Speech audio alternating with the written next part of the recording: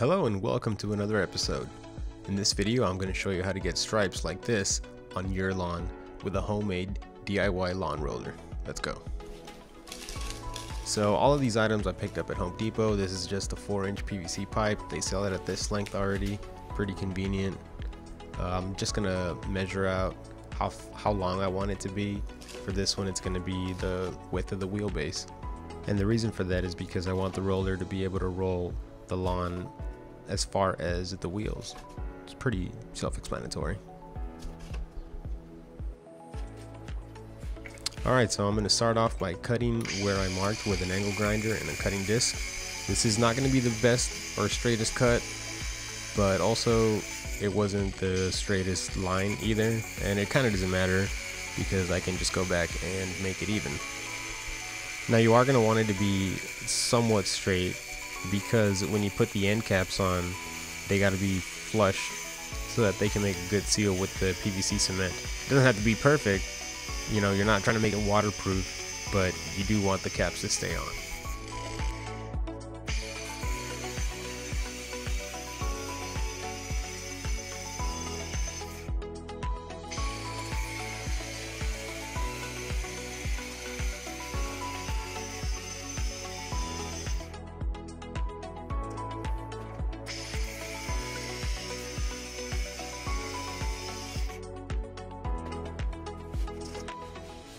I probably should have worn gloves here. But anyways, you can see how my cut is nowhere near perfect. That's no problem. I can just go over it a couple times with the angle grinder or sander and make it about as flush as I can. So once you get it flush enough, you're going to want to wipe off all the excess debris and you are going to want to leave it nice and clean and dry so that the cement has something to stick to.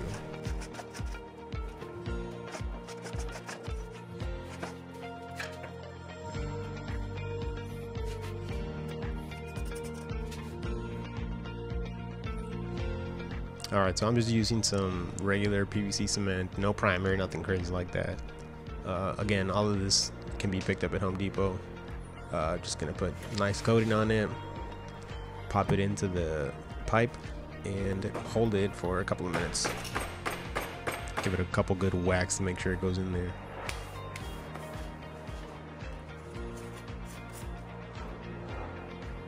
And in case you wanted to know exactly what I was using, this is what I was using.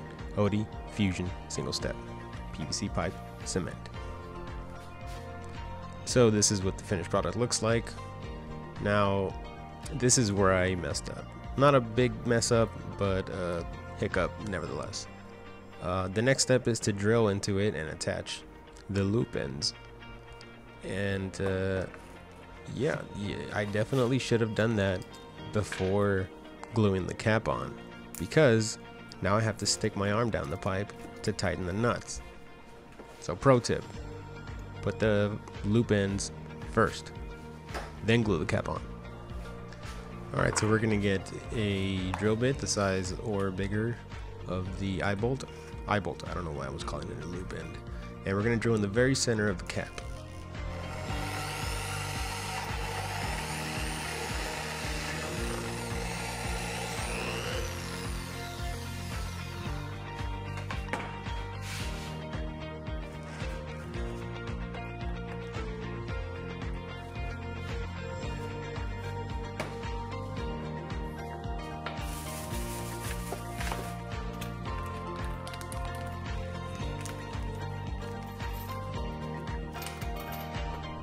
Now I'm gonna go bolt, washer, cap, washer, nut, in that order.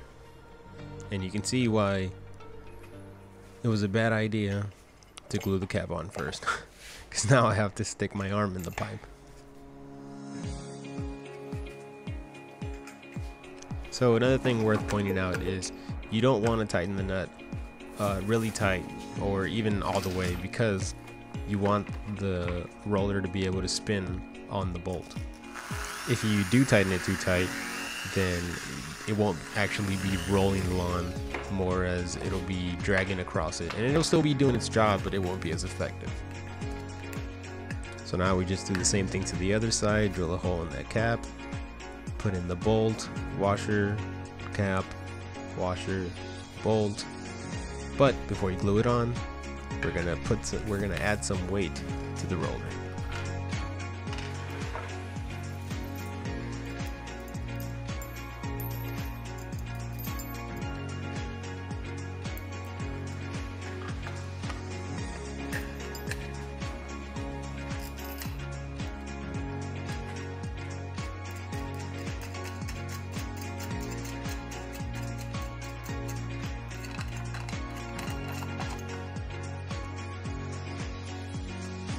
And you can see here how loose it is and how easy it is for the cap to spin on it therefore how easy the roller is to spin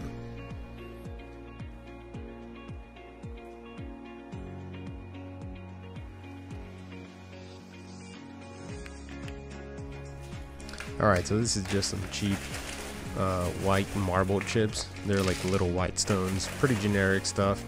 Um, I think the whole bag was probably around three or four dollars, five dollars max.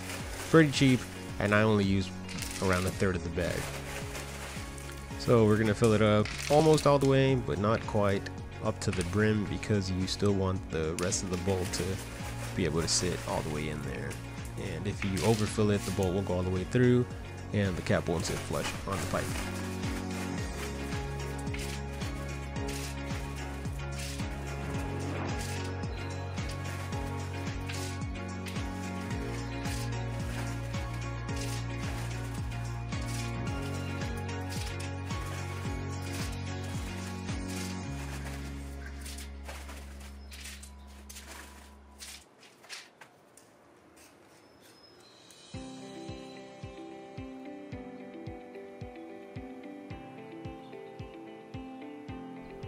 So here you get a pretty good idea of how much I filled it up.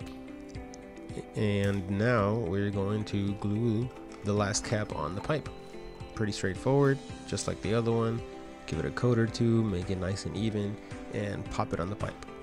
Now again, we're just gonna let that sit for a few minutes. And now that it is dry, I'm gonna line it up with the mower.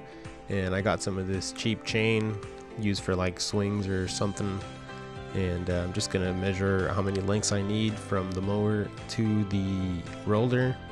Now some mowers may already have a spot for you to attach chain or a carabiner. Mine kind of does but I don't like the location so I'm gonna drill a hole into it anyways. Also it is definitely not worth mentioning but I'm gonna say it anyways. Around this part of the video I totally forgot that I had been playing some uh, Taylor Swift music in the background, so in order to not get sued, I'm just going to cut off all this audio. Taylor, if you're watching, I love you.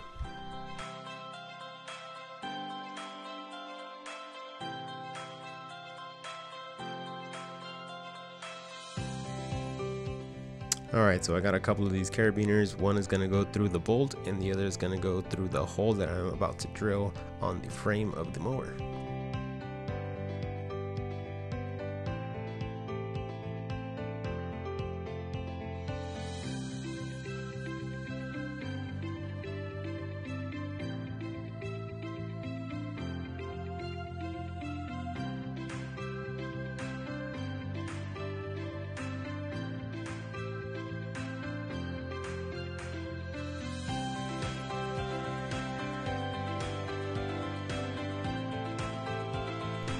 Now the reason I'm cutting it again is because I didn't take into account the length of the carabiner.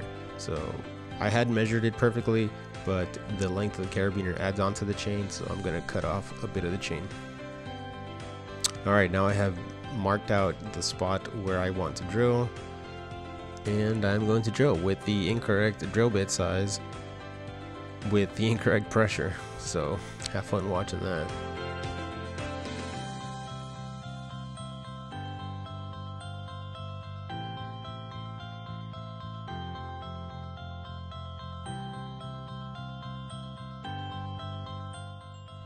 Alright, now that we have the correct drill bit, we're going to make this hole bigger. And then we will attach the other carabiner to this hole. And that is how the roller attaches to the mower.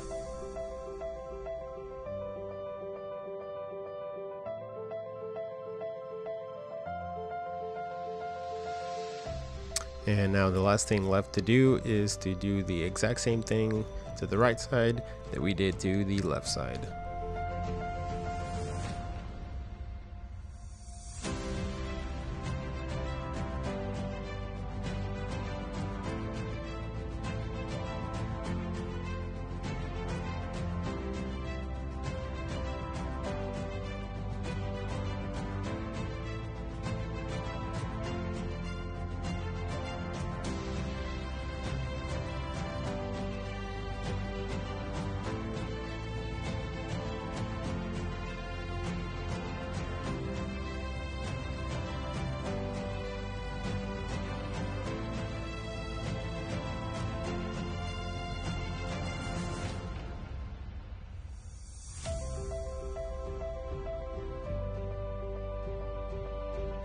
And there you have it guys. This is how you make and attach your own homemade DIY lawn roller. I think the whole thing cost me around $40. Don't quote me on that. But there is a lot of things here that the average person would have in their house, such as nuts, bolts, chain, PVC pipe, maybe cement, all kinds of random stuff, especially the stones. Now unfortunately there is no video of me mowing the lawn because my camera just refused to videotape that for some reason. But here are the pictures again. Once again, this is the end of the video. If you liked, give me a thumbs up. I hope you guys enjoyed this video. Thanks for watching.